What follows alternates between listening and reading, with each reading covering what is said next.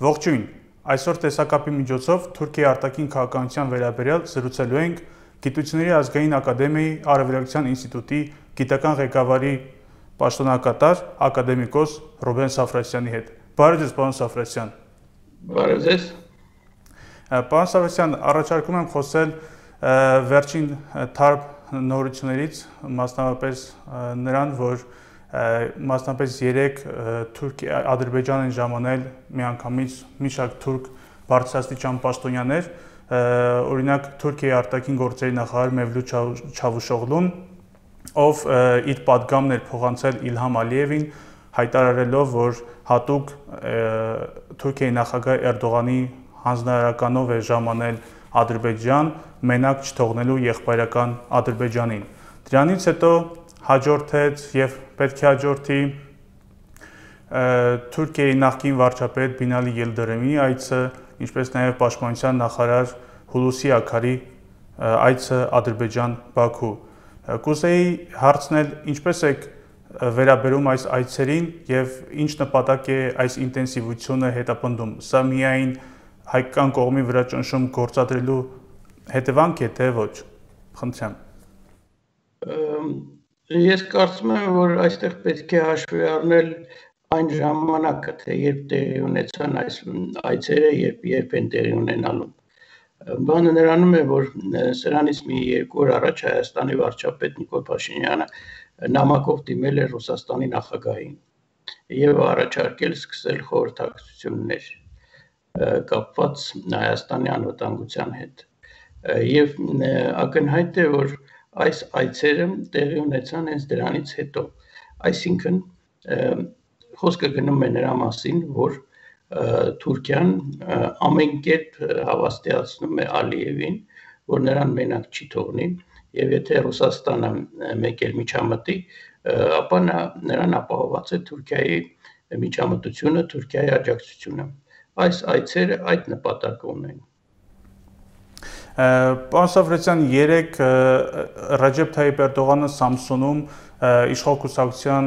նվիրված միջոցառմանը ելույթ ունեցավ եւ հայտարարեց, որ Թուրքիայի ազդեցության գոտիները փաստորեն նախանշեց, հայտարարելով, որ թուրքական բանակը ներկայ է Լիբիայում, Սիրիայում եւ կանգնած է եղբայրական Ադրբեջանի կողքին, նաեւ մատնշեց այն, որ իրենց ազդեցության գոտիները փաստորեն տարածում են միջերկրականից մինչև Սևծով Փաստորեն սրանով նա նախանշում էր Թուրքիայի ազդեցության գոտիները։ Այս համատեքստում կուզեի հարցնել, ինչքանով է Թուրքիային ի վերջո հաջողել իր ազդեցության ոլորտ եւ գոտի բերել Ադրբեջանին եւ ի վերջո ո՞րն է Թուրքիայի կարմիր գիծը Լեռնային Ղարաբաղի կոնֆլիկտում, միջև որտեղ է նա պատրաստ գնալ եւ աջակցել եղբայրական Ադրբեջանին։ Ես ուզում եմ մի քանի հանգամանքի վրա կանգ առնել, պատասխանելով ձեր հարցին։ Առաջինը այն է, այո, շատ ճիշտ նշեցիք, որ Էրդողանը աստորեն արդեն նշում է այն ազդեցության ոլորտները, որոնք գտնվում են Թուրքիայի այսպես հովանավորության ներքո։ Սա ոչ միայն այսպես ընդհանուր պետք է դիտարկել որպես ազդեցության ոլորտներ, այլ այդ ինչ որ նա ասում է, դա այն մեծ ծրագրի մաս են կազմում, որը մենք գիտենք կոչվում է Օսմանյան կայսրության վերականգնման, վիրտուալ վերականգնման, նեոօսմանիզմի ծրագիր եւ այլն։ Ըստ էության նա նախանշեց այդ իր պատկերացմամբ Օսմանյան կայսրության վերականգնված վիրտուալ առումով տարածքի ընդհանուր սահմանները։ Դա մեկ։ Երկրորդը հարավային Կովկասում Թուրքիան արդեն գոյություն ունի։ Թուրքիան արդեն մտել է հարավային Կովկաս մտել է ոչ միայն որպես աստեղ իր ազդեցության գոտի ստեղծելով, դա նավաղուց էր արել արդեն տասնամյակներ նա այստեղ ունի իր ազդեցության ոլորտը, հիմա ընդլայնեց, ընդլայնեց ազդեցության ոլորտը եւ սկսեց Ռուսաստանին ակտիվ դուրս մղել հարավային Կովկասից մենք տեսնում ենք ըստ էության, որ տեղի ունենում Ռուսաստանի դուրս մղումը Թուրքիայի կողմից հարավային Կովկասից։ Սա երկրորդը եւ երրորդը, սա նաեւ շատ կարեւոր հանգամանք եմ ես համարում։ Մենք դες հետ խոսում էինք ազդեցության ոլորտների մասին քննարկում էինք Օսմանյան կայսրության այսպես վիրտուալ վերականգնման խնդիրները բայց նաև պետք է չմոռանանք որ ինչպես ցույց է տալիս փորձը եւ այսօրվա հայտարարություն Էրդողանի նա նպատակ ունի դրանով չսահմանափակվելու այլ սկսում է Թուրքիան նաև ուղակի տարածքային էքսպանսիա սկսում է այն տարածքները, որտեղ գտնվում են թուրքական զինված ուժերը, դիտարկել որպես Թուրքիայի տարածք։ Խոսքը գնում է հյուսիսային Սիրիայի տարածքների մասին, որոնք օկուպացված են թուրքական բանակի կողմից։ Եվ այսօր հենց Էրդողանը հայտարարեց, որ որի իմաստը իր հայտարարության հետևյալն էր, որ այդ տարածքները սկսում են մաս կազմել Թուրքիա։ Եվ սա միայն հայտարարություն չի, գիտեք, մասնագետները արդեն նկատել էին, որ Թուրքիան այդ տարածքները գրավելով այստեղ պահում է շատ ավելի մեծ քանակությամբ զորք, քան թե անհրաժեշտ է այդ բուֆերային գոտի, այսպես ասած, ստեղծելու համար։ Դա մեկ։ Երկրորդը նաև նկատվում է, որ սկսել են շատ ինտենսիվ աշխատանքներ շինարարական կատարվել Թուրքիայի տարածքի վրա եւ մոտեցնում են այստեղ կոմունիկացիաները այդ տարածքների հետ, այսինքն սկսել է այդ տարածքների գրաված օկուպացված տարածքների ինտեգրման գործընթացը Թուրքիայի տարածքի հետ։ Եվ չորրորդ հանգամանքը, սա պատահական չի։ Պատահական չի, երբ մենք անդրադառնում ենք Թուրքիայի այն քարտեզին, որը ընդունվել է Թուրքիայի ազգայի Թուրքիայի Օսմանյան կայսրության վերջին խորհրդարանի կողմից եւ հետո հաստատվել է Թուրքիայի Հանրապետության ազգային մեծ ժողովի կողմից եւ որը հայտնի է որպես ազգային ուխտի քարտեզ ապա տեսնում ենք որ այդ տարածքները որ հիմա գրաված են հյուսիսային Սիրիայում թուրքական բանակի կողմից եւ որոնք սկսում են ինտեգրվել Թուրքիայի հանրապետության կազմի մեջ, դրանք մաս են կազմում այդ տարածքների, որոնք 20 թվականի հունվարի սկզբներին, փետրվարին ըստ էության նախանշել էր Աթաթյուրքը որպես ապագա Թուրքիայի սահմաններ, որոնք չհաջողվեց այն ժամանակ մտցնել Թուրքիայի կազմի մեջ։ Իսկ հիմա Էրդողանը եւ ինքը դրա մասին գիտեք հայտարարել են ոչ մեկ անգամ, բազմաթիվ անգամներ, որ ինքը պետք է ավարտի այն գործը, որը սկսել է Աթաթյուրքը, այսինքն ստեղծի Թուրքիան ազգային մեծ ուխտի սահմանների շրջանակներում։ Իսկ սա նշանակում է, որ բացի այն տարածքներից, որը ես նշեցի, պետք է Թուրքիայի կազմի մեջ Էրդողանի ընկալմամբ մտցվեն եւ հյուսիսային Իրաքի տարածքները, Մոսուլը, Քիրկուկը, պետք է մտցվեն Բաթումը, Նախճեվանը, Հայաստանը, Կիպրոսը լրիվ եւ Արեմտյան Թրակյան։ Սա է այն ազգային ուխտի սահմանը, որը նախանշվել է Աթաթյուրքի կողմից, բայց ինչպես ասեցի, չի հաջողվել լրիվ իրականացնել։ Այնպես որ ամեն ինչ ընթանում, այսպես ասած, Էրդողանի տեսլականին համաձայն իսկ դա վտանգ է ներկայացնում հարևան երկրների եւ պետությունների համար։ Պարոն Սարգսյան, դուք նշեցիք ազգային ուխտի մասին, իրավացիորեն ազգային ուխտի ժամանակահատվածում էր դերևս դեկլարացիա էր, երբ որ այդ բոլոր ազդեցության գոտիները փաստորեն հիմնական ստրատեգիական նախանշվել էին Թուրքիայի կողմից, բայց եւ այնպես ազգային ուխտն ուխտն ինքն իրենով արդեն իսկ հակասում է եւ ոչ միայն ազգային ուխտը, այլ ժամանակակից թուրքական ցավալապաշտական նկարտումները ուղղակիորեն անմիջականորեն հակասում են Ռուսաստանի շահերին ոչ միայն մերձավոր արևելքում, այլ նաև ինչպես նշեցիք հարավային Կովկասում եւ երբ որ Թուրքիան արդեն անմիջականորեն ներգրավվածություն ունի փաստորեն հարավային Կովկասում, ըստ ձեզ ինչպիսի քայլեր պետք է ձեռնարկի կամ կձեռնարկի Ռուսաստանը Մինչև այս մենք տեսել ենք հայտարարություններ, երբ պաշտոնական Մոսկվան բացահայտ փաստորեն նշեց, որ Հայաստանի դեմ որևէ ագրեսիա ագրեսիայի դեպքում Ռուսաստանը պատրաստ է պայմանագրի շրջանակներում աջակցել Հայաստանին։ Սակայն սա նշանակում է, որ պաշտոնական մակարդակում Ռուսաստանը անտարբեր է թուրքական ագրեսիայի նկատմամբ, որը կիրառվում է Լեռնային Ղարաբաղում, թե ոչ։ Եվ ընդհանուր Ռուսաստանը ինչպիսի քայլերի պետք է ձեռնարկի Թուրքիայի ագրեսիվ քաղաքականության դեմ, մասնապես հարավային Կովկասում։ Ես կարծում եմ Ռուսաստանը արդեն ուշացել է։ Հենց սկզբից պետք է Ռուսաստանը շատ կտրոք հստակ դիրքորոշում իմ կարծիքով, իմ գնահատմամբ ունենար մասնավորապես հաշվի առնելով ոչ միայն թուրքական այս ցավալապաշտական ծրագրերը, այլ նաև այն հանգամանքը, որ Թուրքիան օգտագործում է իր ծրագրերը իրականացնելու համար ջիհադիստ վարձկաններին, ծայրահեղականներին Մերձավոր Արևելքից։ Եվ չմոռանանք, որ Թուրքիա, որ Ռուսաստանը ներգրավեց սիրիական ճգնաժամի մեջ հենց առաջին հերթին նպատակ ունենալով ոչնչացնել այդ ջիհադիստներին, որ հետագայում նրանք վտանգ չսպառնան Ռուսաստանին։ Իսկ Թուրքիան այդ նույն ջիհադիստներին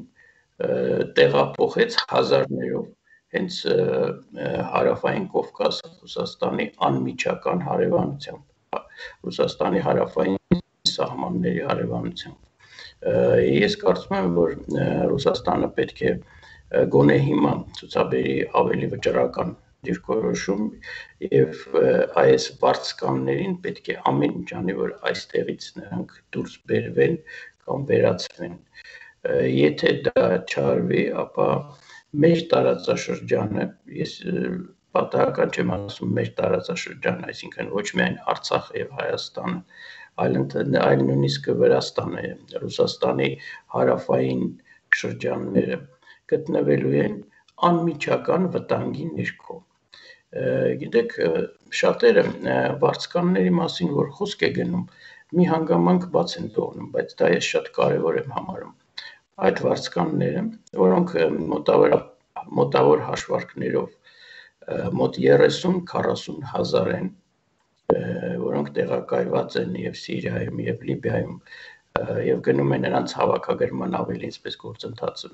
որոնք բազմազգ են տարբեր ժողովուրդների ներկայացուցիչներ են, այդ թվում նրանց մեջ կան թուրքալեզուներ, ըստ էության այդ վարձկանները նրանք ջիհադիստ են նրանք ջիհադ են իրականացնում մենք միջև հիմա տեսել ենք որ այդ ջիհադիստները գործել են մուսուլմանական միջավայրում Սիրիայում եւ Լիբիայում եւ նրանք թիրախավորել են ուղակի առանձին դեպքերում քրիստոնյաներին իսկ հիմա նրանք արդեն ներգրաված են քրիստոնյան պետության դեմ Արցախի դեմ պատերազմում Այսինքն նրանք իրականացնում են իրական ջիհադ։ Եվ դա ել ավելի դաժան է դարձնելու նրանց գործունեությունները։ Էնպես որ սա շատ լուրջ խնդիր է եւ ոչ միայն Ռուսաստանը պետք է ներգրավի այս խնդիրը հնարավորինս արագ լուծելու մեջ, այլ նաեւ ողջ, ինչպես ասում են, քաղաքակիրթ մարդկությունը տեսեք ըստ էության Թուրքիան այն տարածաշրջանը, որտեղ գործում էին այդ ջիհադիստները, որ ինչպես ասեցի, հիմնականում մահմեդական երկրներից է կազմված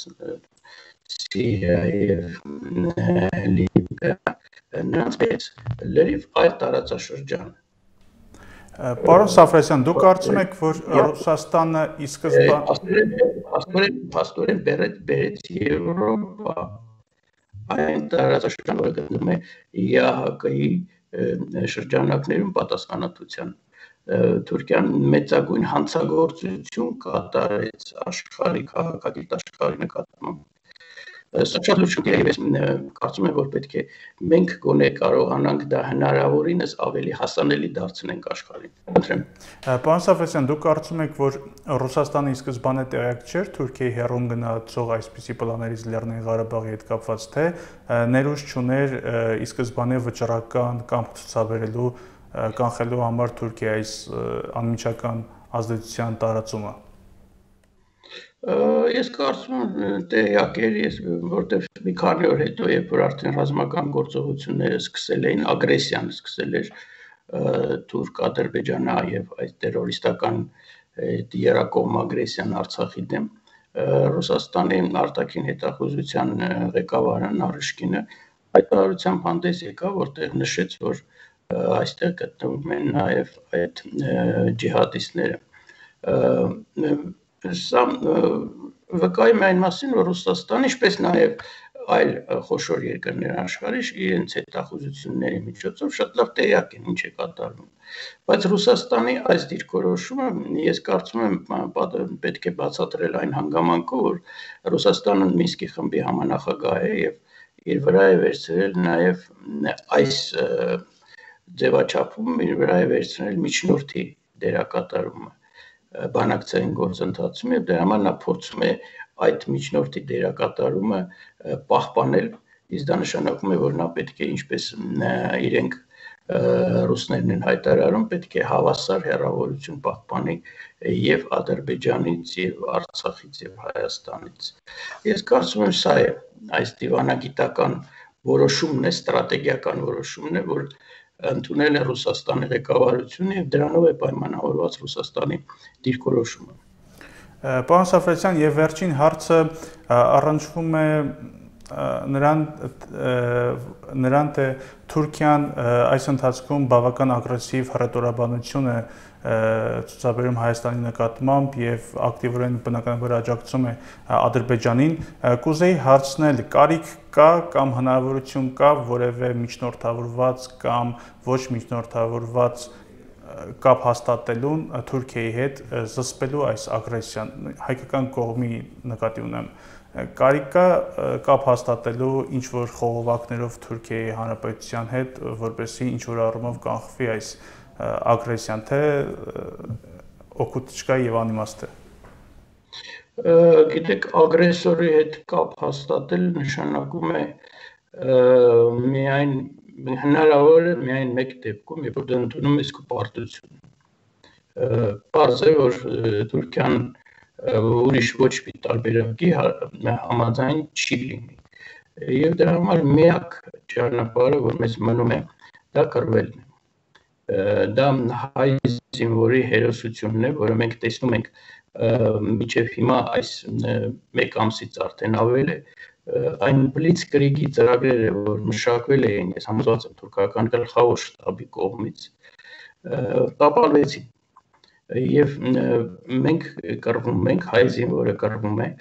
եւ իր հայրենիքը պաշտպանում է եւ պետք է այս պայքարը շարունակել եւ հասցնել մինչեւ հաղթական ավարտ։ Ես կարծում եմ սա է միակ ճանապարհը։ Եվ եթե հնարավոր լինի նաև գտնել դաշնակիցներ, Ռուսաստանն է մեր ստրատեգիական դաշնակիցը։ Ես համոզված եմ, որ որոշակի փուլում Ռուսաստանը կներգրավի ավելի անմիջականորեն։ Պետք է գտնել դաշնակիցներ նաև այլ երկրների շրջանակներում, որտեղ ինչպես ասեցի, այն ինչ որ հիմա իրականացնում է Թուրքիան, դա վտանգ է ամբողջ աշխարհի քաղաքակիրթ աշխարհի համար։ Բայց դա երկրորդական է։ Առաջնայինը մեր պայքարն է միջև հաղթական ավարտ։ Շնորհակալություն, պարոն Սաֆրեսյան։ Հիշեցնեմ, որ այսօր ես զրուցում եի Գիտությունների ազգային ակադեմիայի Գիտական առավելակցության ինստիտուտի գիտական ղեկավարի պաշտոնակատար ակադեմիկոս Ռոբեն Սաֆրասյանի հետ։ Շարունակեք հետևել Civilnet-ին։